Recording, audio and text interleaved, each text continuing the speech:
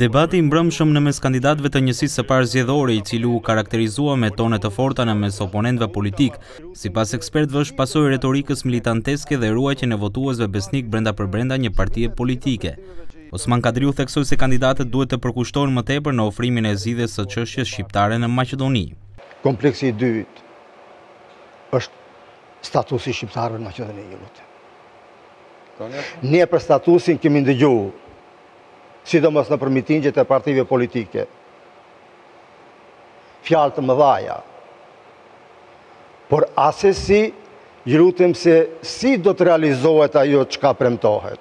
Arben Ratkoceri mendon se pikat të cilat u diskutuan kishin frymë megalomane, ndërkohë që ekzistojnë një sërë pikash konkrete që mund të diskutoheshin aty. Nuk u prek, po më kujtohet për moment cilësia e arsimit. nuk u prek cilësia e shërbimeve shëndetësore, nuk u prek, për shembull, ndarja e buxhetit, sistemit të buxhetit, për shembull, për shëndetësi, apo për kokë banori, apo si shkohet për rajone të caktume.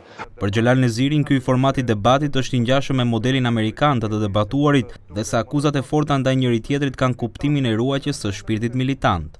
Ky debat ishte një lloj përmbushje të atyre pritjeve të militantëve partiakë dhe të mbajtjes gjallë të atij shpirtit militant që të jenë më aktivë në periudhën që vjen dhe ai shpirti militant mbahet vetëm nëpërmjet një fjalori agresiv. Gazmend Ajdini vlerëson se këto premtime që u shtruan janë të pamundura që të realizohen.